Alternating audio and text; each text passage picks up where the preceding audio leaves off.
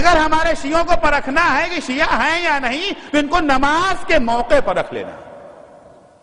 اذان ہونے کے بعد دیکھو، ان میں ہلچل آئی کہ نہیں آئی؟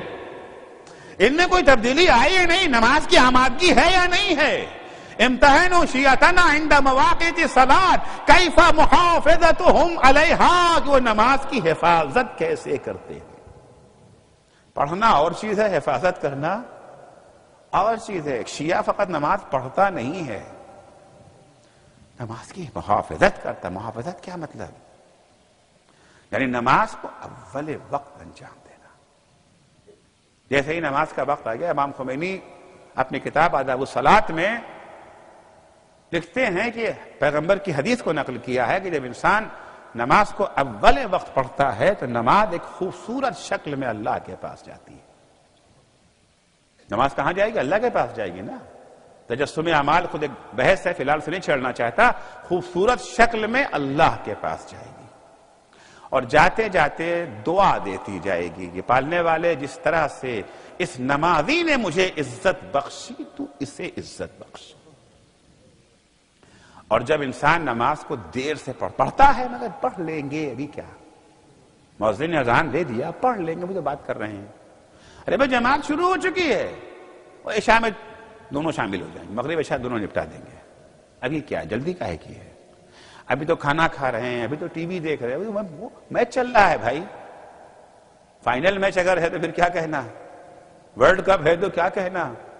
نہیں نہیں، دیکھنا ہے ابھی کیا ہوتا ہے، کون آؤٹ ہوا، کس نے کیا کیا۔ ابھی تو کاروبار کر رہے ہیں، ابھی تو بزنس ہے، ابھی تو گاہک آیا ہوا ہے، ابھی تو ان سے ملنا ابھی تو کھانا نہیں کھایا ہے۔ ہزار بہانے پڑھ لیں گے۔ ابھی تو سورج ڈوبنے میں بڑا ٹائم ہے۔ اگر نماز کو انسان نے پڑھا تو مگر تاخیر سے پڑھا۔ تو نماز، وہ بھی نماز تو جائے گی اللہ کے پاس، لیکن وہ بدسورت شکل میں جائے گی۔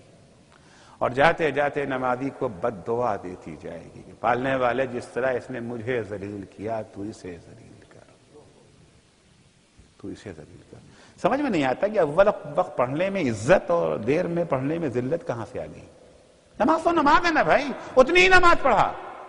جتنی اول وقت پڑھنا تھا وہی سورہ ہے، وہی حمد ہے، وہی رکوع ہے، وہی قیام، وہی سجود، وہی تشہد، وہی دعائیں، وہی تسبیح۔ کوئی فرق نہیں ہے۔ سب کا سب وہی ہے۔ اول وقت اگر پڑھ لیا تو عزت اور تاخیر سے پڑھا تو ذلت یہ کیا مفہوم ہے؟ مثال آپ کی خدمت ایک پیش کرتا ہوں، بات بالکل واضح ہو جائے گی۔ کسی صاحب کی دعوت تھی، شادی تھی، ہمیں بھی بلایا، ہم بھی وہاں گئے۔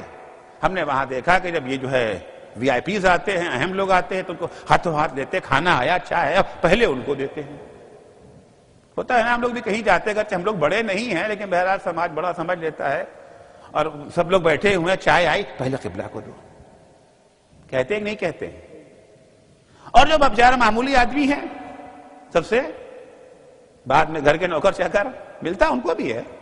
شادی میں گئے تھے، جو آیا، اہم آدمی آیا، سب کو کھانا کھلایا جا رہا۔ ہے سب سے آخر میں ہم سے پوچھا آپ نے کھانا کھایا؟ نہیں، ارے ان کو کھانا تو بھائی۔ کھانا سب پورا ملا۔ نہ مقدار میں کمی، نہ یہ جو ہے کوالٹی میں کمی تھی۔ گرما گرم کھانا ملا۔ ساری چیزیں ملی اب جو گھر واپس آئے تیوریاں چڑھی ہوئی ہیں۔ کیا بات ہے بھائی؟ اب کبھی ان کیا نہیں جائیں گے؟ زلیل کرتے ہیں بلا کر کے۔ کیوں کھانا نہیں ملا؟ کہ کھانا تو ملا۔ کم ملا کہ کم بھی نہیں ملا۔ کوالٹی خراب تھی کہ وہ بھی نہیں۔ پھر غصہ کہا کا ہے؟ کہ سب کو کھلا چکے، تب ہمیں پوچھا۔ تو پہلے پوچھ لینا ہمارے ہاں عزت ہے یا نہیں؟ اور جب تاخیر سے پوچھے ذلت۔ سب سے پہلے پوچھا، سب سے زیادہ عزت۔ ٹائم ہو گیا نماز کا۔ کاروبار چھوڑا بزنس چھوڑا، دوستوں کو چھوڑا۔ ٹیلی فون میں کہا بعد میں بات کریں گے۔ سب کچھ کیا، چھوڑ کے کھڑے ہو گئے۔ اللہ اکبر۔ یعنی نماز کی عزت ہماری نگاہوں میں دوسری چیزوں سے زیادہ ہے۔ سلامت پڑھیں گے محمد وال محمد پر۔